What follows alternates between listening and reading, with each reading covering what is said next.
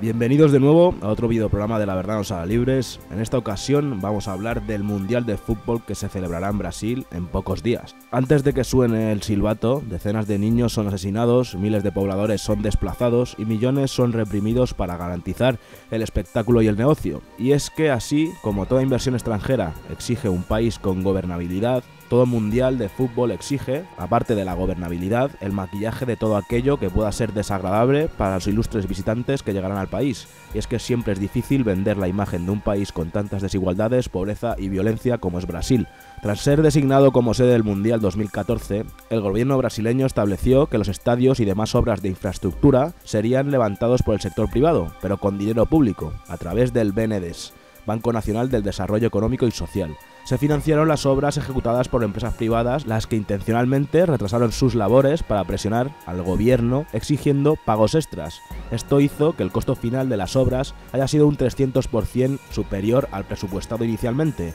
unos 2.500 millones de euros según los datos del Sindicato Nacional de Arquitectura y de la Ingeniería brasileña, que superan los realizados en Alemania y Sudáfrica en los mundiales pasados.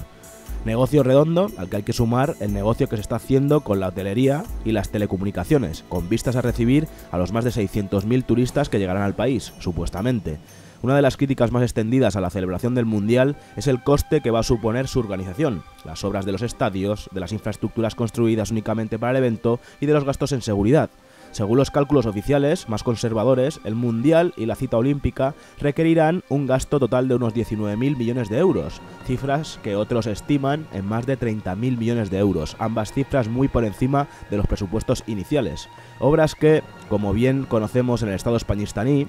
llevan aparejadas siempre sobre sueldos, corrupción, financiación ilegal de partidos políticos, etc. De esto es un buen ejemplo el proceso de renovación y privatización del mítico estadio de Maracaná, de Río de Janeiro. Entre 1999 y 2006, el gobierno de Río de Janeiro invirtió 153,9 millones de euros en adaptar sus instalaciones a las exigencias de la FIFA, inversión que solo cuatro años más tarde se demostraría inútil, dado que el campo se cerró para iniciar un nuevo Maracaná con obras por valor de unos 310 millones de euros. Tras estas obras, la gestión del estadio fue adjudicado a un conglomerado empresarial, calculándose que en 35 años los beneficios duplicarían la inversión realizada. Esta adjudicación fue suspendida tras grandes protestas, duramente reprimidas por las sospechas de corrupción, dado que las empresas adjudicarias habían sido las grandes financiadoras de la campaña electoral del actual ministro de Deportes. Como se ha ido demostrando a lo largo del tiempo, todos los macroeventos, ya sean expos, olimpiadas, Fórmula 1, cumbres mundiales de cualquier cosa, etcétera, etcétera,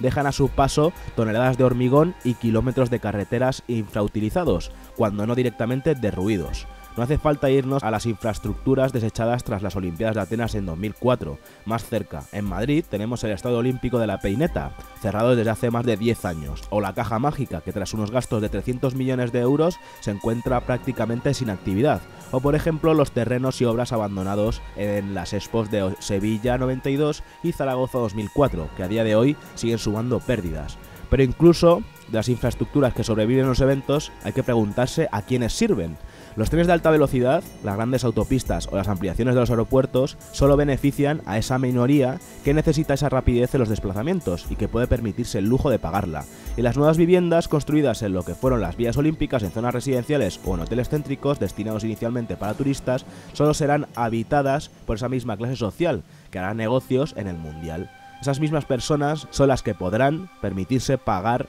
los casi 100 euros que cuesta la entrada más barata para los partidos con menos tirón del torneo. Todo megaproyecto, las críticas suelen ser silenciadas con la cantinera de la creación de empleo, por lo que el Mundial y las Olimpiadas no iban a ser la excepción.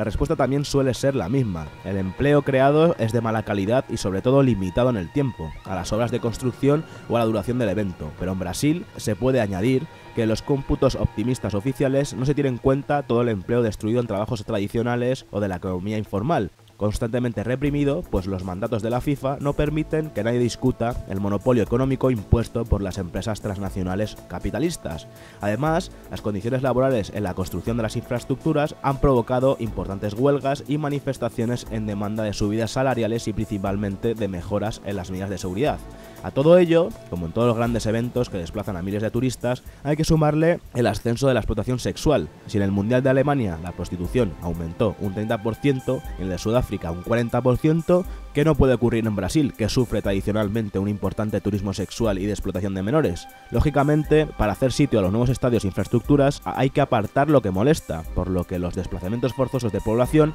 están siendo constantes desde la proclamación de Brasil como sede del Mundial, con una mayor incidencia en Río de Janeiro al ser también sede olímpica.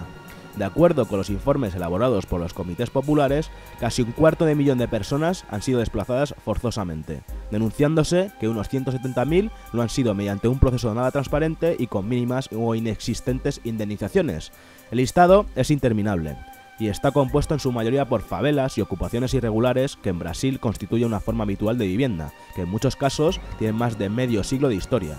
En Curitiba, la ampliación del aeropuerto y las obras del estadio amenazan a más de 2.000 familias. Otras 6.900 serán desalojadas en Belo Horizonte a causa de la construcción de carreteras, los hoteles, centros comerciales y otras infraestructuras. En Fortaleza, 5.000 familias pierden sus casas por distintos proyectos de transporte público y 15.000 más por otras actuaciones urbanísticas ligadas al Mundial. En Río, otras 3.000 viviendas se verán afectadas mientras que en Sao Paulo se estima que solo las conexiones entre el futuro estadio de Corinthians y del aeropuerto internacional de Guarulhos afectarán a unos 4.000 hogares y amenazarán a otros 6.000. Los desalojos también han afectado a comunidades históricas, como al Quilombo de Mangueiras, una comunidad creada en la segunda mitad del siglo XIX por descendientes de esclavos negros para la construcción de 75.000 apartamentos destinados a turistas, delegaciones deportivas y periodistas que desde luego, al finalizar el campeonato, no serán ocupadas por sus antiguos moradores. Del mismo modo, el Museo del Indio en Río de Janeiro, abandonado institucionalmente pero ocupado por colectivos indígenas de distintas etnias como referente cultural,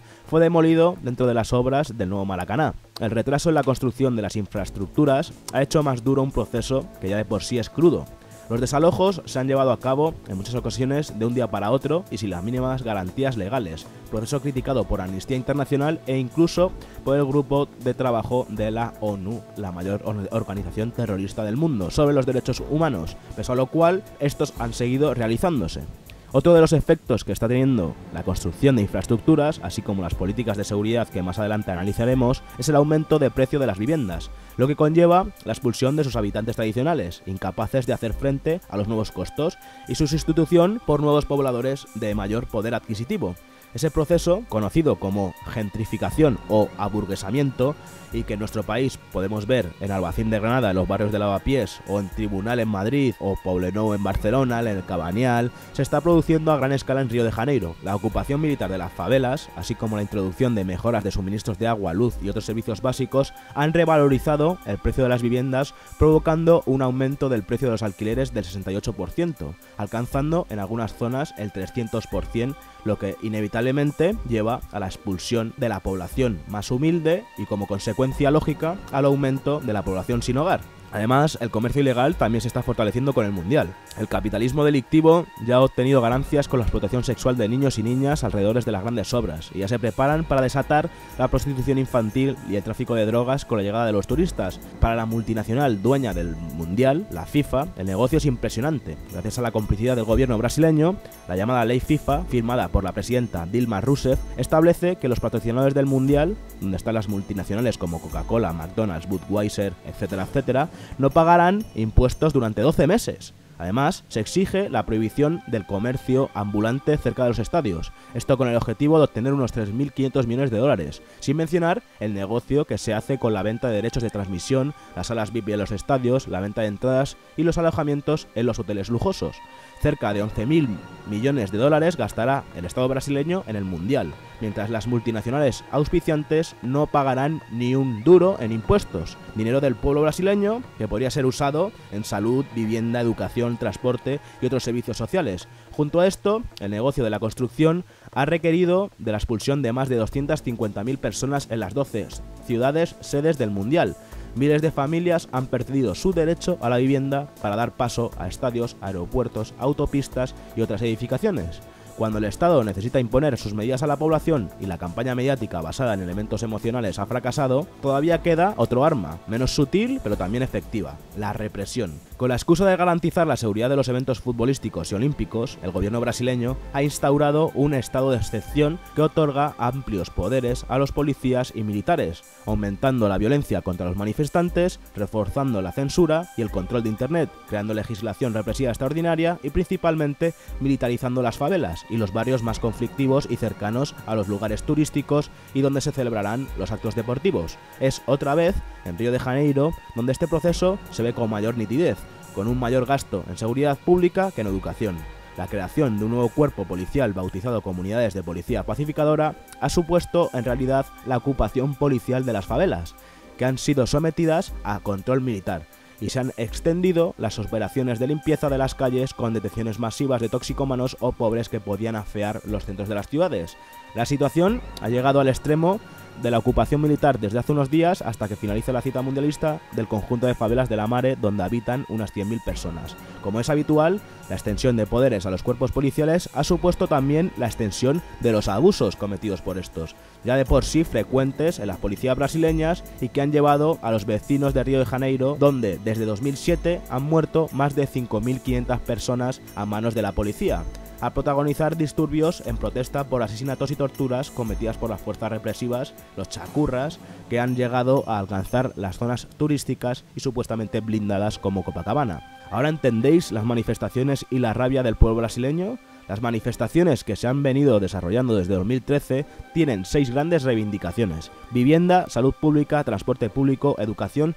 justicia. El fin de la violencia del Estado en las favelas y la desmilitarización de la policía militar, y que se permita la presencia de vendedores ambulantes en las inmediaciones de los estadios. Sin embargo,